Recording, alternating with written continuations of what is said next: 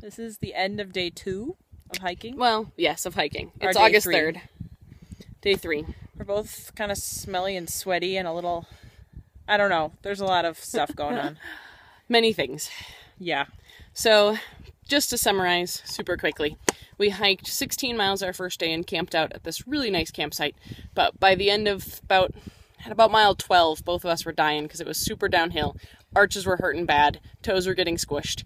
So by the time we got to mile 16, we were dead tired. So camped, got up the next morning, and Emilie's foot was feeling really, really bad. So we were thinking maybe just take a rest day, but then soaked it in the stream, felt a little better. So like, okay, let's get on with it and let's keep hiking. So ended up hiking about a mile and a half and hit a trail where we had been warned there was a washout. We were basically on the side of a cliff, rocks running down this way, and the trail was supposed to be nice and wide to give us a good path, kind of cutting across the middle of the mountain doing switchbacks. But the trail had been washed out, so there was only about half the trail, and then at points it was dipping down into these little kind of caverns and then coming back up Ravines. ravines um, on the side of the mountain on top of rocks. A couple Um, thousand feet up in the air too. Yeah, we so were like, well. If you had been falling, you would have fallen like a thousand feet down. Yes, on a rock bed. So we were 12 miles from Canada, and we decided that given that we were two days into a 70 day journey, Wasn't worth it. it wasn't worth it. So we turned around, we hiked past then the campsite we had camped at, and got back to one that we've passed because we are hiking back down to Hart's Pass. Um, so we're now about 10 miles from Hart's Pass. And uh, we passed a water about a mile ago, but thought there was another one closer to camp. But apparently not. So we So have, we have that much water. So we don't get night. dinner because we were going to make some ramen, but our three other bottles are completely empty. I jogged about a mile up the road and didn't encounter any water.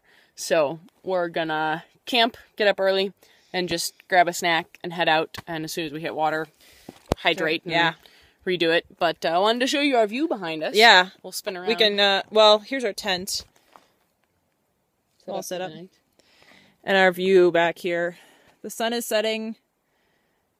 We're looking out over this gorgeous valley. We're out in a right on Devil's Backbone. Devil's Peak is up in the distance. I don't know if we can see it from here. it oh, here? can't see it really through here, but it's a big ass piece of rock. My hair is lovely, as you can see. Both a little, little weary, but doing good. I feel like we only ended up hiking about eight, nine miles today. Nine so- miles, nine, nine nine and a half.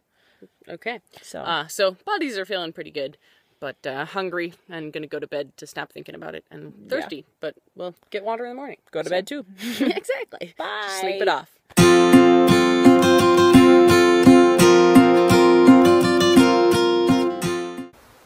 There's a bear munching on some berries straight ahead of us there behind that bush.